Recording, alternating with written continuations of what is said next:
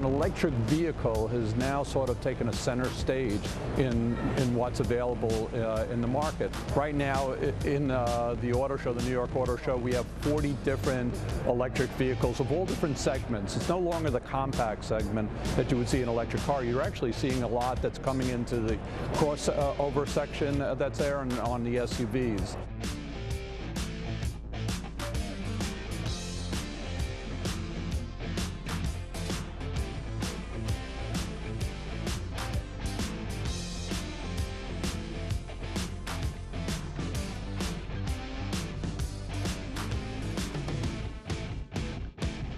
This is Nissan's version of electric vehicle. Um, so it is 100% charged, doesn't take any gas, no uh, tailpipe emissions.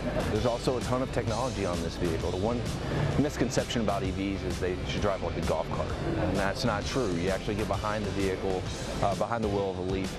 It's actually fast, so it's 100% torque, off-the-line acceleration. Uh, it's a very sporty vehicle. Uh, driving dynamics are uh, in tune with the driver.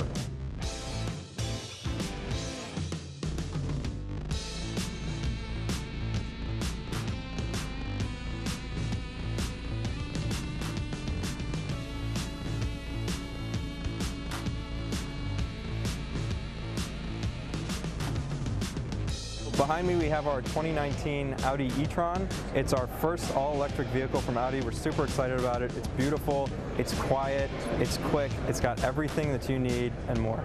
You're getting that traditional Quattro all-wheel drive system that our Audi customers know and love, but now it's in an electric package that responds even more quickly and provides you with even greater confidence and control without using any gasoline. It's all electric and beautiful.